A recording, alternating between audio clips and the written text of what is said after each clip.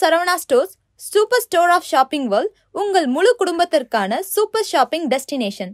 T Nagar Purasaiwakkam Chromepet மற்றும் போரூரில். வணக்கம். ஒரு முறை வந்தவங்க மறுமுறையும் வரணும். மறுமுறை வந்தவங்க தலைமுறைக்கும் வரணும். அப்படி இருக்கணும் தரமும் விலையும். அதுதான் super Saravana stores. Super Saravana stores எங்கள் சேவை என்றும் உங்களுக்காக. குமுதம் யூடியூப் மற்றும் ஃபேஸ்புக் நேரலையில் கல்வியும் கேள்வியும். ஆயிரத்தி இருநூறுக்கும் மேற்பட்ட மருத்துவர்களை உருவாக்கிய லிம்ரா நிறுவன இயக்குனர் திரு முகமது கனி அவர்கள் உங்கள் கேள்விகளுக்கு பதிலளிக்கிறார். செப்டம்பர் பதினெட்டு சனிக்கிழமை மாலை ஆறு முப்பது மணிக்கு காண தவறாதீர்கள்.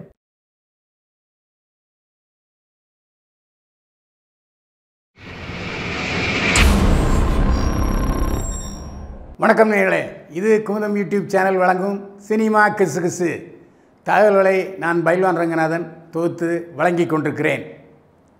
அன்பு தூரம் இருப்பதால் அன்பு குறைவதில்லை. அன்பு அருகில் இருப்பதால் அன்பு அதிகரிப்பதும் இல்லை. அன்பை தீர்மானிப்பது நம் மனதில் உள்ள நல்ல எண்ணங்களே. எனவே மனதில் நல்ல எண்ணங்களை கொண்டிருங்கள். அன்பானவர்கள் உங்களை தேடி வருவார்கள். வடிவேலு படத்தில் நான் கதையின் நாயகி பிரியா பவானி சங்கர். நீண்ட இடைவெளிக்கு பின் நாலரை ஆண்டுகளுக்கு பின் வடிவேலு நாய் சேகர் என்ற படத்தில் கதாநாயகனாக நடித்து கொண்டிருக்கிறார். இந்த படத்தின் கதை திரைக்கதை வசனம் எழுதி இயக்கியிருக்கிறார் சுராஜ். இந்த படத்தில் வடிவேலுக்கு ஜோடி இல்லை. கதையின் நாயகி பிரியா பவானி சங்கர். ஆரம்பத்தில் நாய்சேகர் படத்தில் நீங்கள் தான் கதாநாயகி என்று சொல்லியிருக்கிறார்கள். பிரியா பவானி சங்கர் சொன்னார் வடிவேலுவோட நான் டூயட் பாடினா நல்லாவா இருக்கும்? ரசிகர்கள் கிண்டல் பண்ண மாட்டாங்களா? ஏன் இந்த கொடுமை? என்று கேட்டிருக்கிறார் பிரியா பவானி சங்கர். அதற்கு இயக்குனர் சுராஜ் சொல்லியிருக்கிறாரு அதெல்லாம் இல்லைங்கம்மா. நீங்கள் கதையின் நாயகி. ஆனால் வடிவேலுக்கு ஜோடி இல்லை. அவர் கதையின் நாயகன் என்று விளக்கமளித்தார் சுராஜ். அதற்கு பிறகே பிரியா பவானி சங்கர் நாய்சேகர் படத்தில் நடிப்பதற்கு சம்மதித்தார். கங்கனா ராவத்துக்கு கோர்ட்டு கண்டனம்.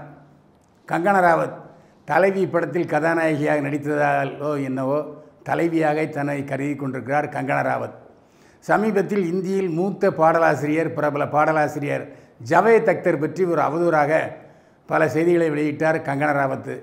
சும்மா இருப்பாரா ஜவேத் அக்தர்? விட்டாரு நோட்டீஸை. என்னை பற்றி அவதூறாக பேசிவிட்டார் கங்கனா ராவத் அவர் மீது நடவடிக்கை எடுங்களேன் என்று சொல்லி. இதை தொ- தொடர்ந்த வழக்கு கோர்ட்டில் நடந்து வந்திருந்தது. கோர்ட்டு கங்கனா ராவத் நேரில் விசாரணைக்கு ஆஜராக உத்தரவிட்டது. ஆனால் கங்கனா ராவத் கோர்ட்டில் ஆஜராகவில்லை. உடனே அந்த நீதிபதி கங்கனா ராவத்துக்கு கண்டனம் தெரிவித்தார். இந்த மாதிரி நாங்கள் விசாரணைக்கு அழைக்கும்போது கங்கனா ராவத் வரலை. அடுத்த விசாரணைக்கு அவர் ஆஜராகவில்லை என்று சொன்னால் கண்டிப்பாக ரிமாண்ட் செய்ய வேண்டியிருக்கும் என்று எச்சரித்தார் நீதிபதி. லிஃப்ட் படம் பஞ்சாயத்துக்கு வருகிறது. கவின் கதாநாயகன் நடித்த படத்தின் பெயர் லிஃப்ட். இந்த படத்தின் வெளியீட்டு உரிமையை லிப்ரா புரொடக்ஷன்ஸ் சந்திரசேகரனிடம் தயாரிப்பாளர் கொடுத்திருந்தார். ஒப்பந்தம் ஏப்ரல் மாதமே ஆகிவிட்டது. ஆனால் இப்போது சமீபத்தில் திடீரென்று லிஃப்ட் படத்தின் தயாரிப்பாளர் எங்களுக்கும் லிப்ரா ப்ரொடக்ஷன்ஸுக்கும் சம்பந்தம் இல்லை என்று அறிவித்து விட்டார் இதனால் ஆத்திரமடைந்த லிப்ரா ப்ரொடக்ஷன்ஸ் சந்திரசேகர் என்ன சொன்னார்னா அந்த படம் வெளியிடும் உரிமை இன்னும் என்னம் என்னிடம்தான் இருக்கிறது. நான் அடுத்த மாதம் வெளியிடுவதாக திட்டமிட்டிருந்தேன் தேட்டர்களிடம் பேசிவிட்டேன். இது குறித்து இது லிப்ட் தயாரிப்பாளர் பேசும்போது அவர் ஃபோனை எடுத்து பேசவே இல்லை. இப்போது என்னடா என்றால் இப்படி என்று எதிர்மறையாக ஒரு அறிக்கை விட்டிருக்கிறார். இது பற்றி நான் தயாரிப்பாளர் சங்கத்தில் புகார் கொடுத்திருக்கிறேன் என்று சொன்னார் Libra productions Chandrasekaran.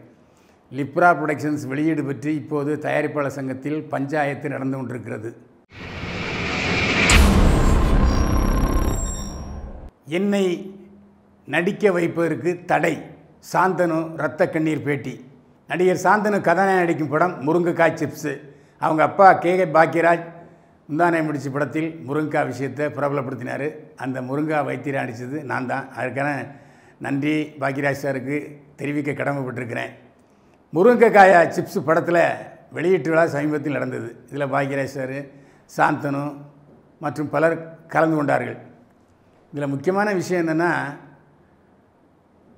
சாந்தனு கதாநாயகன் பேசும்போது என்ன சொன்னார்னா நான் ரொம்ப சிரமப்பட்டு நடிச்சுக்கிட்டு இருக்கேன். நான் நடிப்பில் குறை இருந்தால் சரி.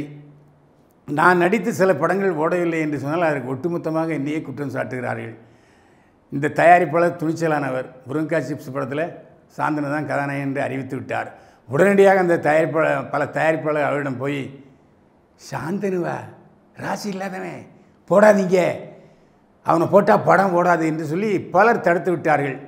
ஆனாலும் அவர் துணிச்சலாக முருகா சிப்ஸ் படத்தில் என்னை கதாநாயகனை போட்டிருக்காரு. ஆனால் பல தயாரிப்பாளர்கள் என்னை ஒப்பந்தம் செய்த தயாரிப்பாளர் நேரில் போய் சொல்லி நான் கதாநாயகனாவதை தடுத்து கொண்டிருக்கிறார்கள் என்று வேதனையிடம் தெரிவித்தார் சாந்தனு பாக்யராஜ்.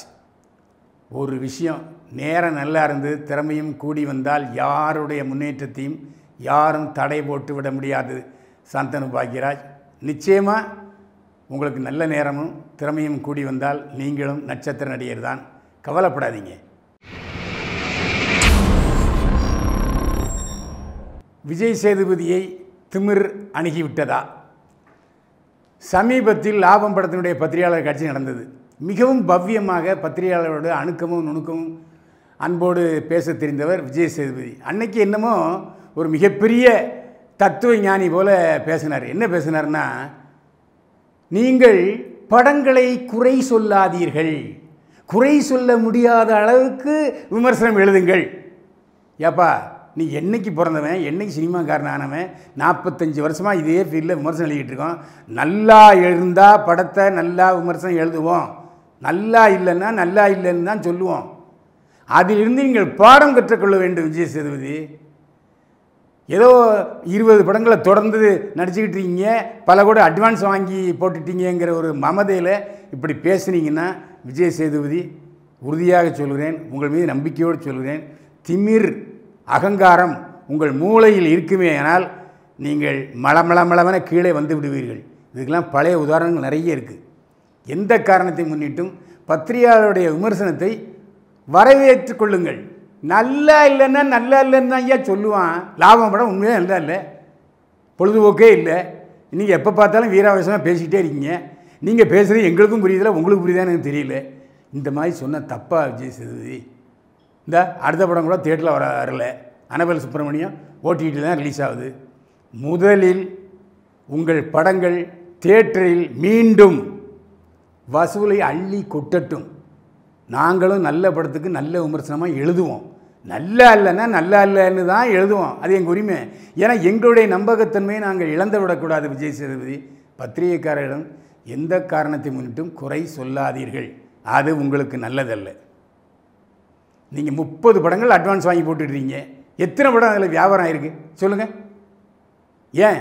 உங்களை அறிமுகப்படுத்திய இயக்குனர் நடித்த படமே இன்னும் வெளியாகலை. அதை வெளிவருவதற்கான ஏற்பாடுகளை முன்னின்று செய்யுங்கள் விஜய் சேதுபதி.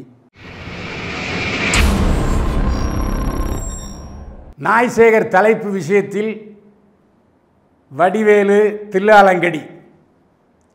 நாய்சேகர் படத்தை இன்னொரு தயாரிப்பாளர் எடுத்து முடித்து விட்டார். நாய்சேகர் படத்தில் அந்த நாய்க்கு பேரே சேகர் தான்.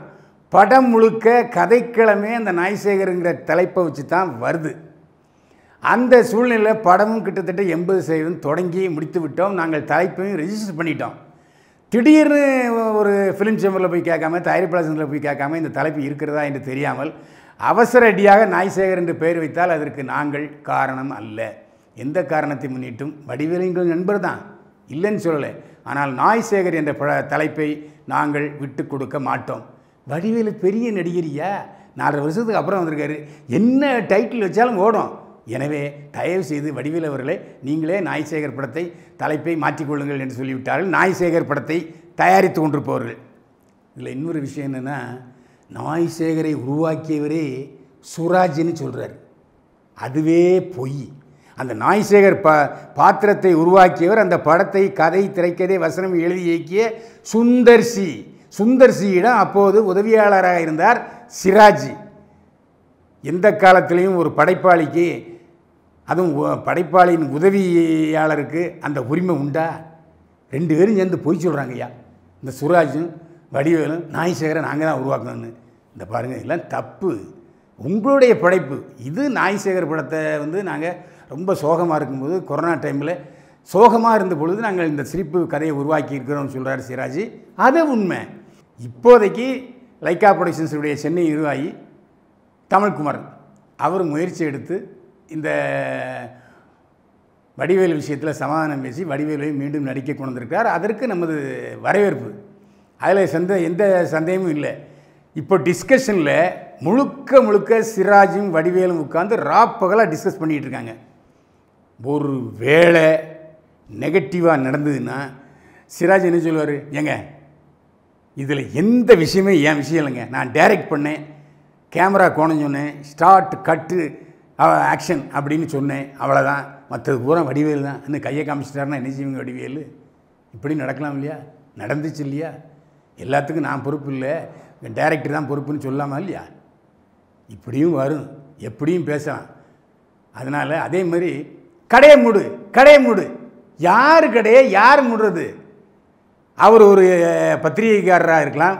பத்திரிகையை மூட சொல்லுவியா நீயே இல்லை வாரப்பத்திரிகைக்காரராக வார பத்திரிகைக்காரராக இருக்கலாம். வார பத்திரிகை மூட அவர் ஒரு நிருபர் வேலை செய்கிறாரு கடையை முடின்னு சொல்கிறதுக்கு நீ யார்?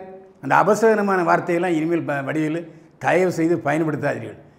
திருப்பி கேட்டானே யார் கடையை யார்ப்பா மூடுறது? உன் கடையை வேணால் நீ முடிச்சு போ என்று அந்த பத்திரிகையாளர் சொல்லியிருக்க வேண்டும். அவர் சார்பாக நான் சொல்கிறேன்.